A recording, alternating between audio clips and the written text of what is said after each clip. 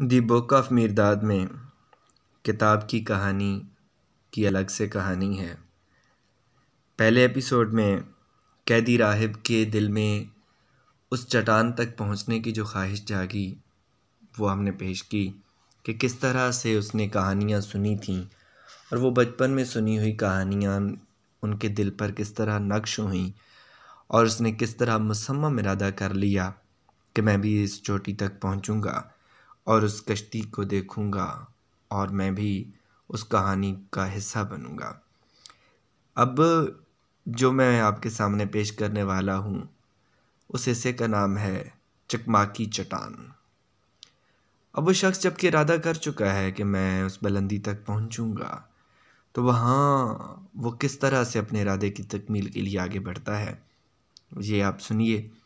और अगर आपने अभी तक चैनल सब्सक्राइब नहीं किया तो काइंडली आपसे गुजारिश है कि चैनल सब्सक्राइब कर लीजिए, ताकि हमें इसके नेक्स्ट एपिसोड बनाने के लिए दिल का साथ मुयसर हो।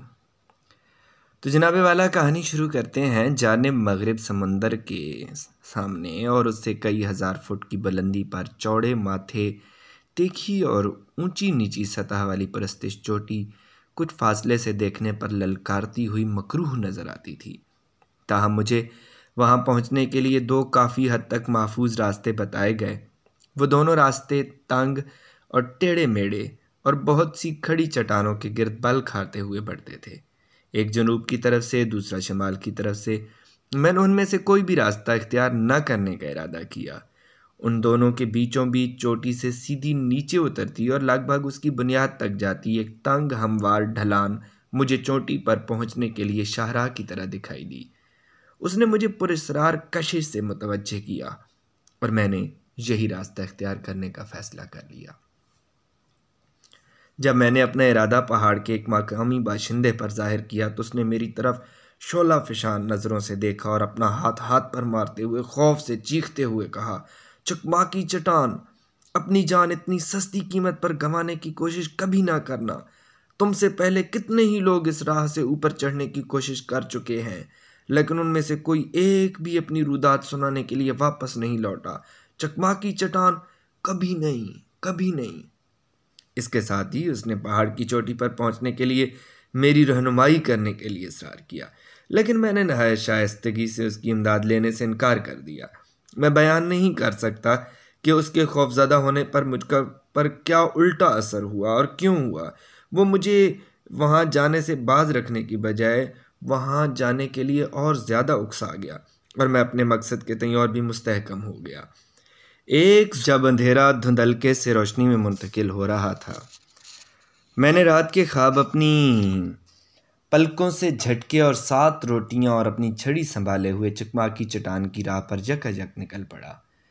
गुजर रही रात के मधम सांस और जन्म ले रहे दिन की तेज़ रफ्तार नब्ज़ कैदी दरवेश का इसरार जानने के लिए घुन की मानद कुतरते हुए इश्तियाक और उससे भी ज़्यादा अपने आप से खा लम्हा भर के लिए आज़ाद होने के लिए कचोटती हुई आरज़ू ने गोया मेरे पैरों में पंख लगा दिए और मेरे खून में प्रवास भर दी। मैंने अपने सफ़र का आगाज़ किया तो मेरे दिल में एक नगमगी थी और रूह में एक अज़म मुसम्मम। लेकिन मैं काफ़ी देर तक पुरमसरत चलता हुआ ढलान के निचले सिरे तक पहुँचा और अपनी नज़र के सहारे उस पर चढ़ने की कोशिश की। तो मैंने अपना नगमा चुपचाप अपने हल्क से नीचे उतार लिया, जो मुझे एक फासले से सीधी हमवार फीते जैसी सड़क की बुनियाद दिखाई दी थी। अब वो मेरे सामने वसी तीखी ढलान वाली, बुलंद और नाकाबले तस्खीर सूरत में बिछी हुई थी। जहाँ तक ऊपर की जानब और मेरे दाएँ बाएँ मेरी नज़र की पहुँच थी, मुझे अलग अलग कामत और शक्लों की चिकमाक के टुकड़ों के सिवा कुछ भी दिखाई नहीं देता था। जिनमें सबसे छोटी कंकरियाँ, तीखी सुइयाँ थीं या तेज़ किए गए ब्लेड, ज़िंदगी का कहीं नामो निशान तक न था। तमाम मंजर पर एक ऐसा उदास कफन फैला हुआ था जिससे रूह तक काँप उठती थी, जबकि चोटी की ज़रा सी भी झलक दिखाई नहीं देती थी। ताहम मैंने दिल नहीं छोड़ा। हाँ उस नेक इंसान की नज़रें जिसने मुझे ढलान के खिलाफ तंबीह की थी, अभी तक मेरे चेहरे को झलस रही थी। मैंने अपने अज़म को ललकारा और ऊपर की जानब अपनी चढ़ाई शुरू कर दी। मगर मैंने जल्दी ही समझ लिया कि मैं फ़कत अपने पैरों के बलबोते पर ज़्यादा फासला तय नहीं कर पाऊँगा, क्योंकि चकमाक पत्थर उनके नीचे फिसलते रहते थे और उनसे ऐसी हौलनाक आवाज़ें पैदा होती थीं, जैसे दम तोड़ते हुए लाखों लोगों के हल्क से नज़ा की खरखराहट पैदा हो रही हो। ज़रा आगे सिरकने के लिए मुझे अपने हाथ, जानू और पाँव की उंगलियों को फिसलते हुए पत्थरों में पेवस्त करना पड़ता था। उस वक्त दिल चाहता था, काश मेरे अंदर बकरी जैसी चुस्ती होती। मैं दम लिए बगैर टेढ़ा मेढ़ा ऊपर की जानब भींगता रहा, क्योंकि मुझे डर लगने लगा था कि मेरे मंजिल पर पहुँचने से पहले ही मुझे रात घेर लेगी। पीछे हटने की तो मैं सोच भी नहीं सकता था। दिन लगभग गुजर चुका था, जबकि अचानक मुझ पर भूख का दौरा पड़ा। तब तक मुझे कुछ खाने या पीने का कतई कोई ख्याल नहीं आया था। जो रोटियाँ मैंने रुमाल में लपेट कर अपनी कमर के गिर्द बांधी थीं, वो इतनी बेशकीमत थीं कि इस वक्त उनका मोल नहीं लगाया जा सकता था।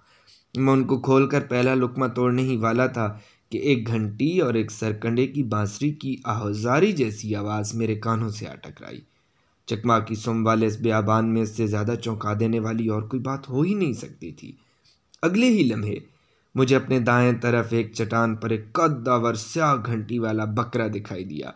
उससे पहले कि मेरा सांस मामूल पर आता, मुझे चारों तरफ़ से बकरियों ने घेर लिया। चकमाक पत्थर उनके पैरों के नीचे से इसी तरह शोर करते हुए गिर रहे थे, जैसे कि मेरे पैरों के नीचे से, मगर उनसे पैदा हो रही आवाज़ बहुत कम डरावनी थी, जैसे कि उन्हें दावत दी गई हो। बकरे के पीछे चली आ रही बकरियाँ मेरी रोटी पर झपटी, कि गोया वो मुझसे छीन ही लेती अगर उनके गडरिए ने, जो ना मालूम कैसे और कब मेरी कोहनी के पास आ खड़ा हुआ था, ने आवाज़ न दे दी थी होती। अगर उनके गडरिए ने, जो नौजवान था, उसने मुझे बचा लिया। लंबा, मज़बूत और नूर अफशां शेर बब्बर की खाली उसका तना लिबास था और उसका वाहिद हथियार थी उसके हाथ में थामी हुई सरकंडे की बांसुरी। मेरा घंटी वाला बकरा बहुत बिगड़ा हुआ है, उसने आस्था से मुस्कुराते हुए कहा मुझे जब भी मिल जाए, मैं उसको चारे में रोटी देता हूँ। लेकिन कितने ही महीनों से रोटी खाने वाले लोगों के इधर से गुजर ही नहीं हुआ। फिर अपने आगे चलने वाले बकरे की तरफ़ मुड़ते हुए उसने कहा, मेरे वफादार बकरे, क्या तूने देखा कि अच्छी तकदीर कैसे हमारी ज़रूरियात पूरी करती है? तकदीर से हरगिज़ नाउमीद नहीं होना चाहिए। ये कहकर वो झुका और एक रोटी उठा ली। ये यकीन करते हुए कि भूखा है। मैंने उससे नहायत आजी और संजीदगी से कहा यह सादा खाना हम बांट कर खाएँगे। रोटी हम दोनों के लिए काफ़ी है और घंटीदार बकरे के लिए भी। हैरानी से मुझ पर जैसे फालिद गिर पड़ा जब उसने पहली रोटी बकरियों के खाने के लिए फेंक दी। उसके बाद दूसरी और तीसरी और इसी तरह सातवीं रोटी, मगर हर एक रोटी से अपने लिए एक लुकमा तोड़ता रहा।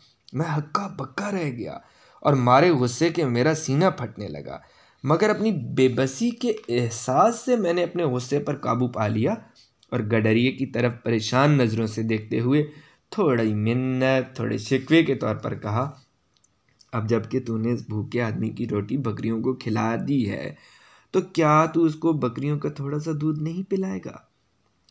मेरी बकरियों का दूध बेवकूफ़ों के लिए जहर है और मैं नहीं चाहता कि मेरी कोई बकरी किसी बेवकूफ़ की जान लेने का जुर्म करे। मगर मैं किस बात पर बेवकूफ़ ठहरा? इसलिए कि तू सात जन्मों के सफ़र के लिए सात रोटियाँ लेकर चला है। तो क्या मुझे सात हज़ार रोटियाँ लेकर चलना चाहिए था? एक भी नहीं। क्या तेरा मशवरा ये है कि मैं अपने तवील सफ़र पर सामान के बगैर ही निकल पड़ता? वो रास्ता जिसमें मुसाफिर को खाने के लिए कुछ मुयसर ना हो, मुसाफिर के काबिल नहीं है। तो क्या तू चाहता है कि मैं रोटी की बजाय चकमाक खाऊं और पानी की जगह अपना पसीना पीऊं। ए गडरिए, तूने मेरा बहुत मज़ाक उड़ाया है। फिर भी मैं इस मज़ाक का बदला नहीं लूँगा। जो भी मेरा अनाज खाता है, खा, वो मुझे भूखा ही मार रहा हो, वो मेरा भाई बन जाता है। दिन कोहसार के अकब में डूब रहा है, मगर मेरे लिए सफ़र जारी रखना नहायत ज़रूरी है। क्या तू मुझे नहीं बताएगा कि मैं चोटी से अभी भी बहुत दूर हूँ?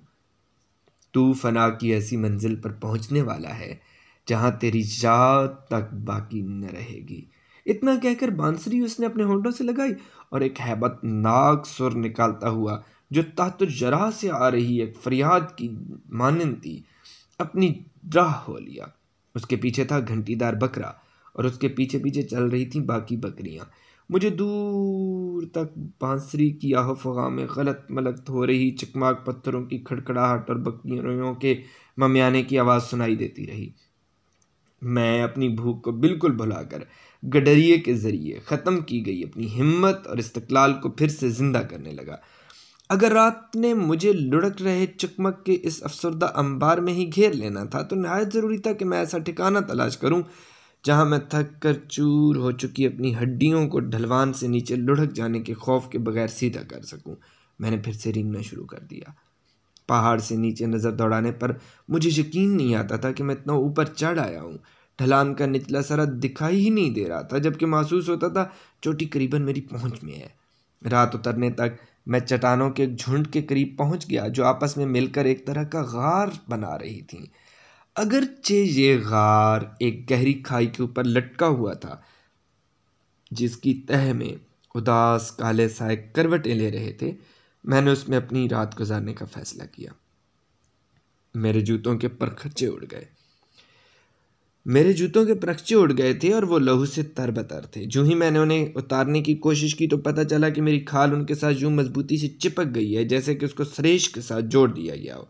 मेरे हाथों की हथेलियाँ गहरे लाल रंग की खराशों से पुर थीं। मेरे नाखून किसी सूखे हुए दरख्त से नोच कर उतारी गई छाल की धार की तरह थे। मेरा लिबास अपना ज़्यादा हिस्सा तीखे चिकमाक की नज़र कर चुका था। मेरा सर नींद से फटा जा रहा था। ऐसा लगता था इसमें किसी और ख्याल के लिए कोई जगह ही नहीं है। मैं कब से सोया पड़ा था? एक लम्हा से, एक घंटे से या जल से? मुझे कुछ पता नहीं था, लेकिन जब मैं नींदर, नींद से बेदार हुआ तो महसूस हो रहा था जैसे कोई ताकत मेरी आस्तीन खींच रही हो। मैं नींद से चकराया हुआ हड़बड़ा कर उठ बैठा तो एक मटियार, मध्यम रोशनी वाली लालटेन हाथ में थामे मेरे सामने खड़ी है। वो अलिफ नंगी थी। उसका चेहरा और जिस्म बेहद नरम नाजुक और खूबसूरत थे। मेरी जैकेट की आस्तीन खींचने वाली एक ज़यीफ़ औरत थी। इतनी ही बदसूरत जितनी कि वो नौजवान औरत खूबसूरत थी। एक सर्द कपकपी ने मुझे सर से पाँव तक झंझोड़ दिया।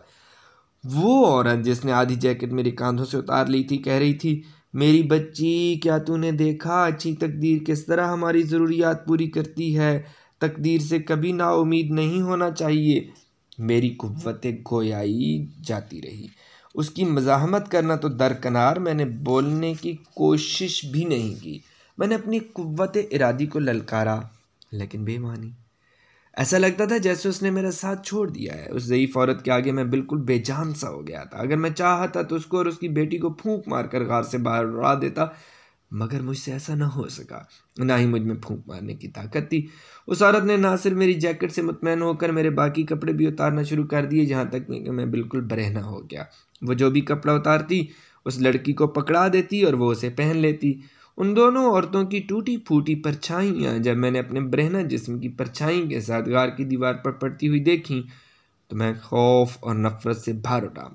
मैं समझ से खाली सुनी हुई नज़रों से देख रहा था और गूँगा बना खड़ा था, जबकि मेरे पास कुछ बोलने की सख्त ज़रूरत थी। और इस नागवार हालत में सिर्फ़ वही बोलना मेरे पास हथियार के तौर पर बाकी रह गया था। आखिरकार मेरी ज़ुबान खुली और मैंने कहा, ऐ बुढ़िया, तेरी तमाम शर्म हया अगर जाती रही है, मेरी तो नहीं तो जैसी बेहया चुड़ैल के सामने भी मुझे अपने नंगेपन से शर्म आती है, और इस लड़की की मासूमियत के आगे मैं जिस कदर शर्मसार रहा हूँ, इसकी तो कोई हद ही नहीं। जिस तरह इसने तेरी शर्म पहन रखी है, वैसी ही तू इसकी मासूमियत पहन ले।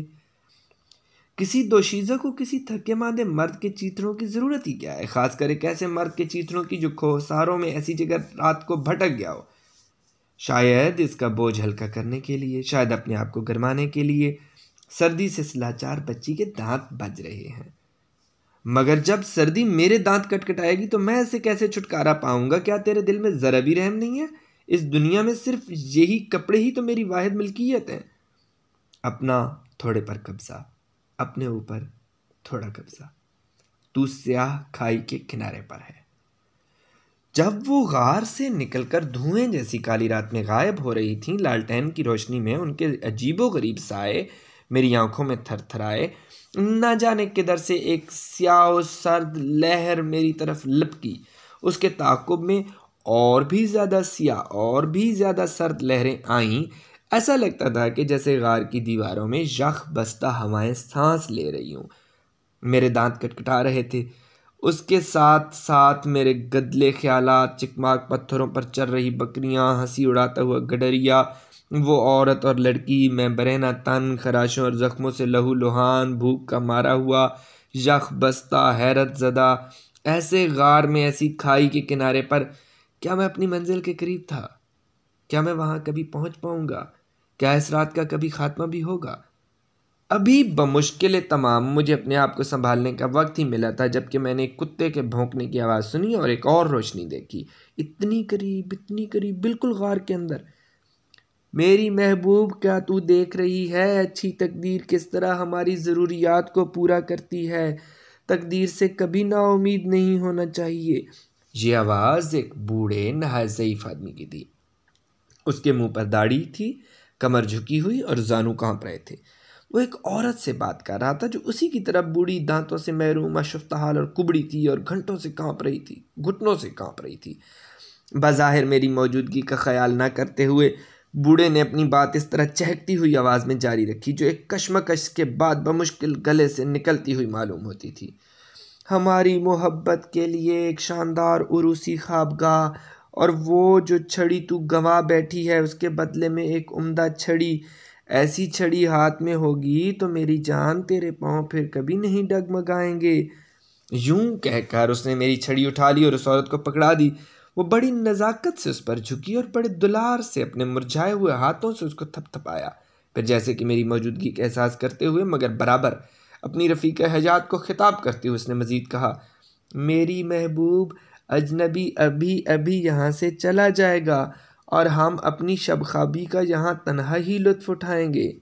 ये अल्फाज मुझ पर हुक्म बनकर सादे हुए, जिसकी नाफरमानी की मुझमें ज़रा भी हिम्मत नहीं थी। ख़ास कर जब कुत्ता धमकाने के अंदाज में गुराता हुआ मेरी तरफ़ बढ़ रहा था, जैसे कि अपने आका के हुक्म की तकमील करने आ रहा हो। इस सारे मंजर ने मुझे खौफजदा कर दिया। मैं उसको बदहवासी की हालत में देख रहा था। मैं सकता में आए किसी शख्स की तरह उठ खड़ा हुआ, गार के दरवाजे तक पहुँचा, जबकि मैं अपने बचाव में अपना हक जताने की खातिर सर तोड़ कोशिश करता रहा। तुमने मेरी छड़ी ले ली। क्या तुम इतने बेदर्द हो जाओगे कि ये गार भी ले लो, जो इस रात के लिए मेरा बसेरा है? खुश नसीब हैं बगैर लाठी के चलने वाले, वो ठोकर नहीं खाते। आराम से हैं बेघर लोग, वो घर में बसते हैं। ठोकर खाने वालों को फ़कत हमारी तरह ज़रूरत है लाठियों के सहारे चलने की। घरों से बंधे हुओं को फ़कत हमारी तरह चाहिए बसेरे के लिए एक घर। वो अपने लंबे लंबे नाखनों से ज़मीन को खोद कर अपने लिए सेज तैयार करते हुए एक सुर में गाते रहे। गाना गाते हुए कंकरियों का हमवार करते रहे। मगर मुझसे बिल्कुल बेखबर। इस बेबसी की हालत में मैं रोने पर मजबूर हो गया। मेरे हाथों को देखो, मेरे पाँव की तरफ़ तवज्जो दो। मैं एक राहगीर इस उजाड़ ढलान में खो गया हूँ। यहाँ तक पहुँचने के लिए मैं अपने कदमों के निशान अपने लहू से बनाता आया हूँ। ये खौफनाक पहाड़ तुम्हारा खूब जाना पहचाना लगता है, मगर मुझे इस पर आगे बढ़ने के लिए एक भी इंच रास्ता दिखाई नहीं देता। क्या तुम्हें ज़रा भी खौफ नहीं है कि समल का सिला भी देना पड़ सकता है? अगर तुम मुझे एक रात के लिए इस गार में रहने की इजाज़त नहीं देते तो कम अज़ कम मुझे अपनी लालटेन ही दे दो।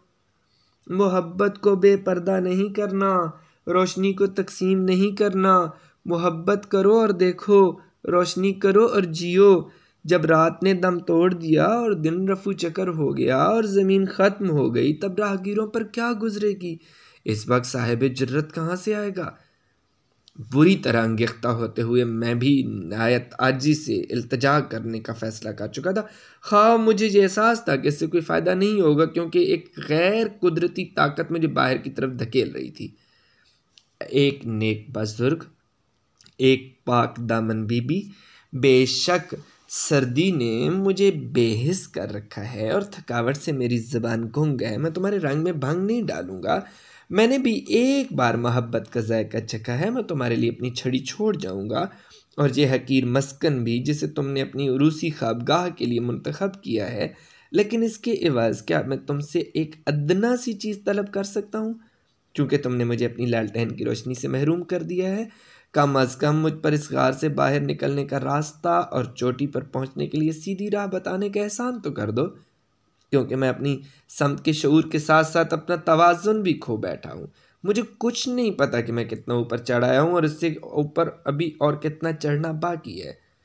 मेरी अल्तजाओं पर कोई तवज्जो ना देते हुए उन्होंने अपना गाना जारी रखा। सही मानों में बुलंद हमेशा पस्त होता है। सही मानों में तेज़ गाम हमेशा काहिल होता है। आला दर्जे का हसास बेहिस होता है। आला मर्तबा खुश बयान गुंग होता है। भाटा और जवार एक ही मौज की दो सूरतें हैं। जिसका कोई राहबर नहीं, उसी का राहबर कामिल होता है। सबसे अजीम, सबसे हकीर होता है। उसी के पास सब कुछ होता है, जो अपना सब कुछ लुटा दे।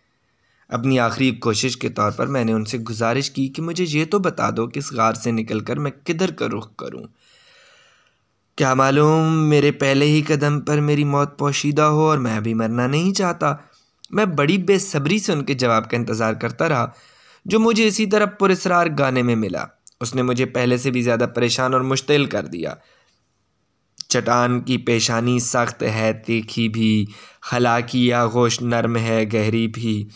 शेर, बबर और करम, देवदार का दरख्त और गट्ठा, ईंधन का खरगोश और गूँगा छिपकली और बटेर, उकाब और छछूंदर सबने एक ही गड़े में उतरना है। एक ही कांटा, एक ही दाना, फ़कत मौत ही उसकी तलाफ़ी हो सकती है। जैसे नीचे, वैसे ही ऊपर, जीने के लिए मरो या मरने के लिए जियो। जैसे ही मैं हाथों और जानों के बल रींग कर गार से बाहर निकला, लालटेन की रोशनी टिमटिमा कर बुझ गई। कुत्ता भी मेरे पीछे रींगता हुआ चला आया, जैसे कि उसने मेरे बाहर निकल जाने की तसल्ली कर ली हो। अंधेरा उस कदर गहरा था कि मैं उसका सियाह बाजू अपनी पलकों पर महसूस कर सकता था। अब मैं एक लम्हे के लिए भी ठहर नहीं सकता था। कुत्ते ने मेरे लिए ये यकीनी बना दिया था। एक हिचकिचाता कदम एक और पसो पेश में डूबा हुआ कदम तीसरे कदम पर मैंने महसूस किया जैसे पहाड़ अचानक मेरे पैरों के नीचे से सिरक गया हो और मैं तारीकी के समुंदर के गिरदाब में फंस गया हूँ, जिसकी खौफनाक लहरें मेरा सांस पी रही थीं और मुझे बुरी तरह उछाल उछाल कर नीचे और भी नीचे पटक रही थीं। जब मैं स्याह खाई के खला में चक्कर काट रहा था तो मेरे दिमाग में कूदने वाले आखिरी मंज़र उस शैतान दुल्हा और दुल्हन का था।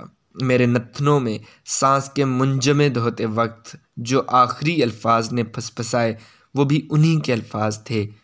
जीने के लिए मरो या मरने के लिए जियो।